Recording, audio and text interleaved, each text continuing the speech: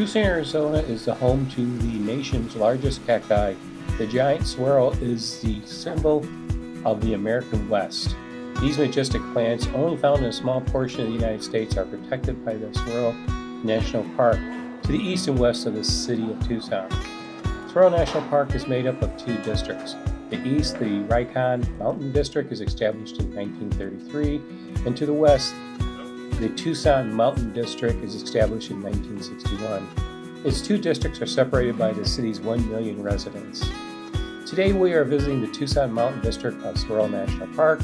This section of park contains large strands of saguaro cactus, creating a breathtaking saguaro forest. We start our visit at the National Parks Visitor Center. Seen some ace saguaros?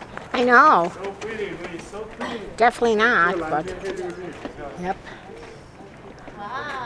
There's just thousands and thousands of them. Yep. And the natives look at them as representing a people. Yeah, That you should look out it's an interesting perspective. Yeah. That, that they're, the saguaros represent their relatives from the past. Yeah. Outside the visitor center, there's a nature trail that you can walk through, and you can see some of the different variety of cactus that are in this national park, which is kind of neat.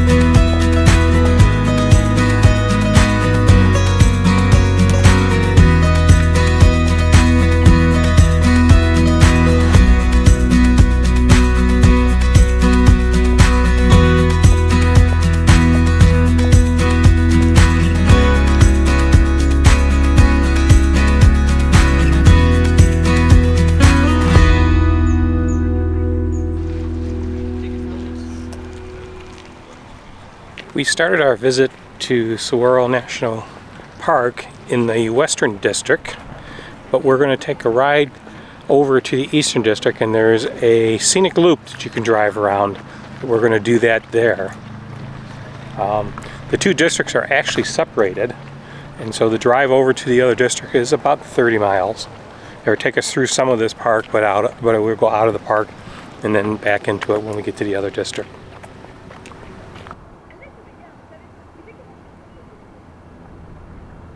This is old Tucson Western Studios, and this is a home where a number of movies are filmed here.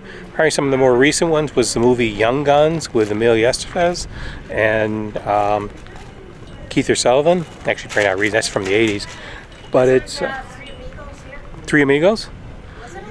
I don't know. Could be.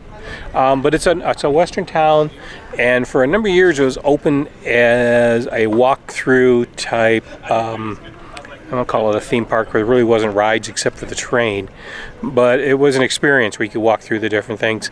Um, since then, it, it did close for a while um, from COVID, and it's just reopened, and now you can take daily tours through the um, area, the, the town, which is kind of cool.